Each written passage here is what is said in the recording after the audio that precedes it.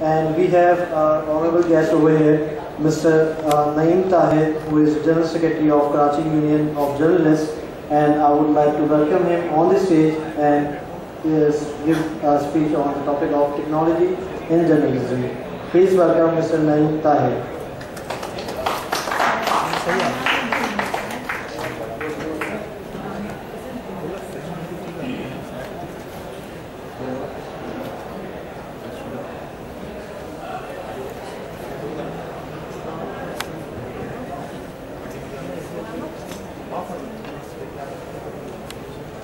السلام علیکم۔ سب سے پہلے تو میں اس کانفرنس کے منتظمین کا شکر گزار ہوں، جنہوں نے مجھے یہاں اپنی بات کہنے کا موقع فراہم کیا۔ آج اور یہ انفارمیشن ٹیکنالوجی کا کمال ہے کہ اکثر گفتگو اور خیالات کے اظہار کا موقع میڈیا عام لوگوں کو اور زندگی کے مختلف شعبوں کے افراد کو فراہم کرتا ہے۔ اور آج یہاں الٹے باز بریلی کے مصداق میڈیا کو اظہار خیال کا موقع فراہم کیا گیا۔ میں نے یہاں الٹی گنگا بہنے کا محاورہ قصدن استعمال نہیں کیا کیونکہ وہ انہونی کے لیے استعمال ہوتا ہے۔ میری گفتگو انہونی نہیں، گزرتے وقت نے یہ ثابت کر دیا ہے کہ میڈیا اور جدید میڈیا اور جدید ٹیکنالوجی کا چوری دامن کا ساتھ ہے۔ اور آنے والا وقت اس تعلق کو مزید گہرائی اور وسعت دے گا۔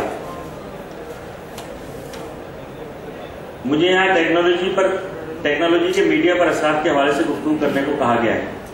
تو میں عرض کرتا چلوں کہ میڈیا بجائے خود ایک ٹیکنالوجی ہے، جس کی افادیت کو عام کرنے کے لیے پرنٹ اور الیکٹرانک آلات استعمال کیے جاتے ہیں۔ گویا میڈیا ٹیکنالوجی کے اظہار گویا یہ میڈیا ٹیکنالوجی کے اظہار کے ٹولز ہیں، آلات ہیں۔ میڈیا آگاہی کو جنم دیتا ہے اور میڈیا ہی جدید دور کا جدید دور کا ایک ایسا ہتھیار ہے جس کے ذریعے نظریات کی جنگ لڑی جا رہی ہے اور جاتی ہے۔ آپ میں سے اکثر کو یاد ہوگا کہ پاکستان میں C N N C N N کی نشریات دکھانے کے لیے ایک چینل آیا تھا۔ اگر کچھ لوگ یقیناً مسعود اکبر صاحب اور دیگر لوگ واقف ہوں گے کہ انیس سو نائنٹین ایٹی نائن کی بات ہے کہ سی این این کو این ٹی ایم کے ذریعے ایک ایسٹین چینل تھا، اس کے ذریعے سی این این ہمارے یہاں دکھایا جاتا تھا۔ اور اس کے فوری بعد خلیج کی جنگ کھڑی کر دی گئی۔ اس چینل نے اس جنگ کو مکمل طور پر ہائی لائٹ کیا، اس کے تمام پہلوؤں کا احاطہ کیا۔ اور یہ ثابت کرنے کی کوشش کی گئی کہ امریکہ اس جنگ میں حق بجانے میں۔ اس وقت تو شاید لوگوں کا اندازہ نہیں تھا، لیکن دو دہائی بعد اب یہ بات واضح ہو گئی کہ ہمارے ہاں میڈیا کے میڈیا کے میڈیا کے ذریعے جنگ جیتی بھی جاتی ہے اور لڑی بھی جاتی ہے۔ اس سے آگے کی باتیں سیاسی ہیں جو یہاں کرنے کا محل نہیں۔ انفارمیشن ٹیکنالوجی نے دنیا کو ماؤس کے ایک کلک میں سمیٹ کر رکھ دیا ہے۔ بلکہ کلک میں تو کچھ قوت صرف ہوتی ہے۔ اب تو اتنی آسانی ہو گئی ہے کہ صرف ایک ٹچ سے سب کچھ ممکن ہے۔ گویا دنیا دنیا بچوں کے ہاتھ میں کھلونوں کی طرح ہو گئی ہے۔ دو صدی قبل ایک عظیم شاعر نے جب یہ کہا کہ بازی چاہے اطفال ہے، دنیا میرے آگے۔ ہوتا ہے شب و روز تماشا میرے آگے۔ تو اسے دیوانے کی ایک پڑھ کہا گیا تھا۔ لیکن وقت نے یہ ثابت کر دیا کہ قرائے عرض بازی چاہے اطفال یعنی بچوں کے کھلونے کی مانند سمٹ کر مٹھی میں آ گئی ہے۔ میں اس سے قبل یہ عرض کر چکا ہوں کہ میڈیا بھی ایک ٹیکنالوجی ہے، لیکن وہ اظہار کی مرہون منت ہے، جس کے لیے جدید ٹیکنالوجی کا سہارا لیا جاتا ہے۔ اس لیے دو ٹیکنالوجیز کے ملاپ سے ہم تک اطلاعات کا سمندر یا ہم اطلاعات کے سمندر میں غوطے لگاتے اور اپنے مقصد کی گوہر حاصل کرتے ہیں۔ وہ جو فراز نے کہا تھا کہ غم دنیا بھی غم یار میں شامل کر لو، نشہ بڑھتا ہے شرابیں جو شرابوں میں ملیں۔ اس طرح میڈیا اور جدید ٹیکنالوجی کے ملاپ سے انسانوں کی بھلائی کے لیے ایک نئے نظام نے جنم لیا ہے۔ اس لیے میں اپنی گفتگو کو ٹیکنالوجی پر ٹیکنالوجی کے اثرات تک محدود کرنے کے بجائے یہ چاہوں گا کہ صحافت پر ٹیکنالوجی کے اثرات تک اسے لے جایا جائے۔ آج سے بیس سال قبل کے جرنلزم اور آج کے جرنلزم میں اتنا ہی فرق ہے جتنا اسٹون جتنا اسٹون ایج اور انڈسٹریل ایرا میں بیس سال قبل کا صحافی ایک خبر ایک خبر کے حصول کے لیے جتنی محنت اور قوت صرف کرتا تھا، ہمارے آج کے دور کے ساتھی اس کے اشر اشیر سے بھی واقف نہیں۔ اب میں یہ تو نہیں کہوں گا کہ وہ آج کا صحافی محنت نہیں کرتا۔ محنت وہ کرتے ہیں، لیکن اسے ذرائع اتنے دستیاب ہیں کہ بڑی سے بڑی خبر جس کی بات میں آگے کروں گا۔ میں آپ کی دلچسپی کے لیے بتاتا چلوں کہ ایک اخبار کے مالک نے اپنے رپورٹر کو فون پر گفتگو کرتے اور لکھتے دیکھ کر فوٹوگرافر کو مخاطب کہا اور کہا کہ دیکھ رہے ہو، یہ کہیں جانے کی زحمت گوارا نہیں کرتے۔ سب کچھ فون پر ہو جاتا ہے۔ تمہیں بہرحال تصویر بنانے جانا پڑتا ہے۔ یہ تمہاری مجبوری ہے۔ اگر یہ تمہاری مجبوری ہے۔ اب اگر تصویر اس طرح فون پر آنے لگیں تو تمہیں تمہیں بھی کہیں جانے کی ضرورت نہ پڑے۔ فوٹوگرافر نے تو اسے ناممکن سمجھ کر دل میں اپنے مالک کی شان میں جو قصیدہ آرائی کی کی ہوگی اس کا اندازہ تو آپ کو ہوگا۔ لیکن کاتب تقدیر نے یہ الفاظ سننے سے پہلے ہی شاید کچھ لکھ لیا تھا۔ یہ ٹیکنالوجی کا کمال ہے کہ اب صرف ایک آدمی اسپاٹ پر پہنچتا ہے اور ساری دنیا اس منظر کو براہ راست دیکھتی ہے۔ اسی سے سب فوٹیج بناتے اور ضرورت پڑنے پر اسٹل بھی حاصل کر لیتے ہیں۔ مجھے جب اس مرحوم فوٹوگرافر نے یہ واقعہ آج سے پندرہ سولہ سال قبل سنایا تھا، تو ہم دونوں مالک کے مالک کے نماز پر ہنسے بھی تھے اور سوچنے لگے کہ کیا ایسا ممکن ہوگا۔ وہ فوٹوگرافر تو اب اس دنیا میں نہیں رہے، لیکن میں نے اس ٹیکنالوجی کا کمال دیکھا اور آج یہ ممکن ہے کہ کسی بھی واقعے کی جائے بغیر بھی بہت سارے لوگ کوریج کر لیا کرتے ہیں اور ساری دنیا انہیں دیکھتی ہے۔ ٹیکنالوجی نے جرنلزم کی تعریف اور معنی ٹیکنالوجی نے جرنلزم کی تعریف، معنی اور تصورات تبدیل کر دی ہیں۔ یہ فیصلہ آنے والا وقت والا وقت یہ فیصلہ آنے والے وقت کا مورخ مورخ کرے گا کہ کون صحافی ہے اور کون نہیں۔ کیونکہ اب تو بچے بچے ویڈیو اور انٹرنیٹ کے ذریعے اپنی خبریں ڈاؤن لوڈ کر دیتے ہیں۔ اپلوڈ کر دیتے ہیں اور لوگوں تک وہ پہنچ جایا کرتی ہیں۔ پہلے صحافی کا تصور یہ تھا کہ اس کے ہاتھ میں قلم یا کیمرہ ہوگا۔ لیکن اب نہ اس کے ہاتھ میں قلم ہوتا ہے، نہ وہ کیمرہ جس کا تصور ذہنوں میں ابھرتا ہے۔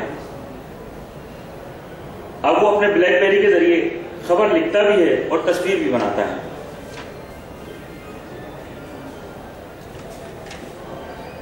اب بات صرف خبر کے اصول تک محدود نہیں رہی۔ بلکہ ہر لمحے بدلتی صورتحال سے بھی آگاہی رہتی ہے۔ ٹی وی چینل اور اور اخبارات کی ہر خبر تک رسائی نہیں، کیونکہ ٹی وی چینلز کی ہر خبر تک رسائی بھی نہیں، کیونکہ فوٹیج کا اصول اب بھی مشکل ہو جاتا ہے۔ مجھے یقین ہے کہ آنے والا وقت اس میں مزید آسانیاں پیدا کرے گا۔ لیکن اب فیس بک اور ٹویٹر اور دیگر سوشل میڈیاز کے ذریعے دیگر ذرائع بھی خبروں کا ذریعہ بن گئے ہیں۔ فیس بک پر اسٹیٹس کی طرح ایک صحافی بھی آخری وقت تک حقائق کی کھوج میں رہتا ہے۔ آپ پاکستان کرکٹ ٹیم کے وکٹ کیپر ذوالقرنین حیدر کے واقعے، یہ خبر سے تو بخوبی واقف ہوں گے۔ جنہوں نے اپنے فیس بک اسٹیٹس کے ذریعے ساری دنیا میں تہلکہ مچا دیا تھا۔ اب کسی چیز تک رسائی مشکل نہیں رہی۔ اب چینل پرنٹ چینل اور پرنٹ میڈیا کو ابلاغ کے لیے ابلاغ کے لیے تصدیق درکار ہوتی ہے۔ جبکہ فیس بک ٹویٹر اور یوٹیوب کے ذریعے کوئی بھی شخص، کوئی بھی خبر، تصویر، ویڈیو ساری دنیا کو فراہم کر سکتا ہے۔ یہ جدید ٹیکنالوجی کا کمال ہے۔ یہی اور یہ جدید ٹیکنالوجی کا کمال ہی ہے کہ کراچی میں رینجر اہلکاروں کے ہاتھوں ہلاکت کی نوجوان سرفراز شاہ کی ہلاکت کی ویڈیو نے چند گھنٹوں میں پوری دنیا کی توجہ حاصل کر لی تھی۔ سانحہ سیالکوٹ، آپ کے ذہنوں میں گزشتہ روز پھر تازہ ہو گیا ہوگا جب اس کے ملزمان کو سزا سنائی گئی۔ گیارہ ماہ پانچ روز قبل ہونے والے اس سانے کی کہیں داد فریاد نہیں ہوئی تھی۔ بس ایک خبر چلوائی گئی کہ دو ڈاکو مانے گئے۔ پھر یوٹیوب پر پھر یوٹیوب پر اپلوڈ کی گئی ویڈیو نے دکھایا کمال۔ ملزمان پہنچے اپنے انجام کو۔ کیا پہلے ایسا ممکن تھا؟ شاید نہیں۔ ٹنڈو باول کا واقعہ یہاں بیٹھے شاید کچھ افراد کو یاد ہو کہ انیس سو بانوے میں اس وقت کے وزیر اعظم نے کئی ڈاکوؤں کی ہلاکت پر پولیس کی بہت تعریف کی تھی۔ کچھ عرصے بعد کچھ اخبارات میں خبر شائع ہوئی کہ وہ ڈاکو نہیں تھے، نہ ہی وہ بھارتی ایجنٹ تھے، بلکہ وہ تو معصوم دیہاتی تھے۔ کسی جائیداد کے جھگڑے پر انہیں پولیس کی ملی بھگت سے ہلاک کر دیا گیا۔ بہرحال وہ خبر میڈیا پہ آئی، اس کا نوٹس لیا گیا۔ تو جب اس کے ملزمان کو سزا اس وقت ہوئی، جب وہی وزیر اعظم جنہوں نے پولیس کی تعریف کی تھی دوسری مرتبہ معذور ہوئے اور خود عمر قید کی سزا سن چکے تھے۔ ان ملزمان کو کی سزا پر عمل درآمد اس وقت ہوا یعنی کوئی اٹھارہ انیس سال اس اس واقعے میں لگ گئے کہ اس واقعے کے انجام تک پہنچنے میں۔ اور آپ نے ابھی دیکھا کہ گیارہ ماہ اور پندرہ گیارہ ماہ اور پانچ دن میں یہ واقعہ، یہ مسئلہ حل ہو گیا۔ پہلے جو کام برسوں میں ہوتا تھا، ٹیکنالوجی کی بدولت اب دنوں میں ہو جاتا ہے۔ ضرورت اس امر کی ہے کہ اس ٹیکنالوجی تک رسائی، میڈیا کی اس ٹیکنالوجی تک رسائی ممکن بنائی جائے۔ اور اس حوالے سے ہمارے اب بھی صحافت میں جو لوگ ہیں، جو ہمارے ساتھی ہیں، وہ میڈیا تک ان کی رسائی اتنی نہیں ہے، سوری، اس جدید ٹیکنالوجی تک اتنی رسائی ان کی اب تک نہیں ہو پائی ہے۔